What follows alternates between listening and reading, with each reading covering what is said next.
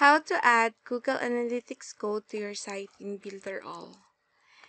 In this video tutorial, I'm going to show you and walk you through step by step on how you can create a Google Analytics account, how to add your website in Google Analytics, and how to add your Google Analytics code to your site in Builderall. To use Google Analytics, you need to have a Google account or Gmail account. So if you don't have a Google account yet or a Gmail account, you need to sign up by just going to the accounts.google.com slash sign up and you will be redirected to the sign up page where you just need to input your name, your username, your password, your birthday, your gender, your phone, and your uh, your uh, email, you, uh, your retrieval email, and then just click the blue button and sign up.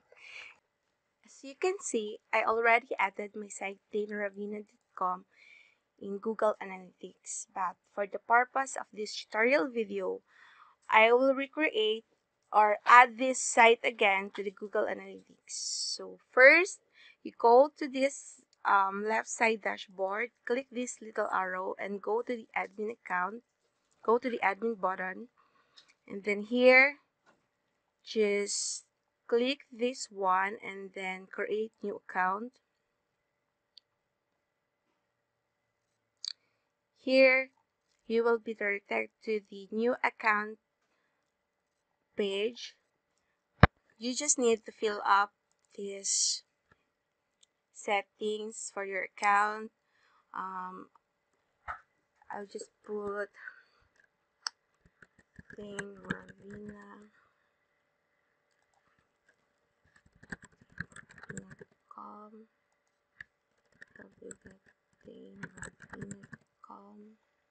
And the industry since I am in digital marketing or in internet marketing so I'm gonna use this internet and telecom. Um no. Um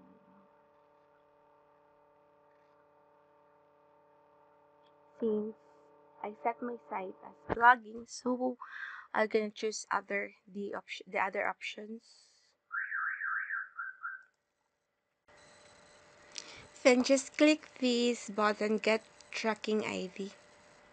And then just read the Google Analytics Terms of Service Agreements. Um, please make sure you have read and understand the terms before you accept it since I already read that and that I'm aware of the policy so I'm going to accept the terms and conditions and then here you will be redirected to the tracking code page where this tracking ID and codes are what you need to add in your site builder to start tracking your site visitors and other data for your site. So let's go to the Builderall dashboard and then go to your responsive site or blog or if your site is created in my in this using drag and drop site builder just go in there. Since I created my site using the responsive site I'll um, go to the settings and then I will add the codes using I will add codes in my site in arvida.com then in order in to add that one um, just click the edit button. Then you will be directed to your site and as you can see I am directed to the site dashboard of my site daneravina.com so this is where I can uh, this is where I will add the analytics the this is where you will need to add the Google Analytics code. So just copy this tracking ID and just paste it there and click the save button so that's it and it will start tracking your site's data.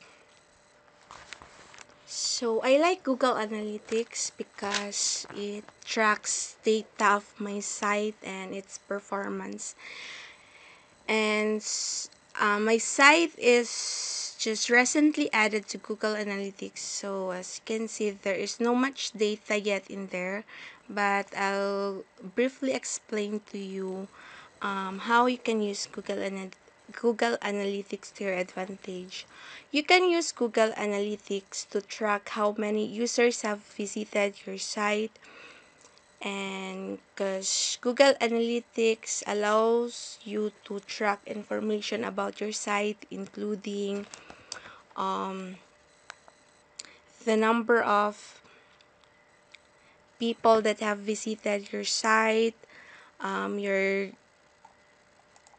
you can check it real time um, the ge geographical locations from where your site traffic is coming from and the, the length of time that your visitor stays on each page so if you explore more of on the on each options you will see um, datas on the site um, so ju that's just a quick overview of the Google Analytics. I will be more detailed on how you can use and leverage Google Analytics in my next videos. So for now, um, I just show you how you can quickly add analytics to your site and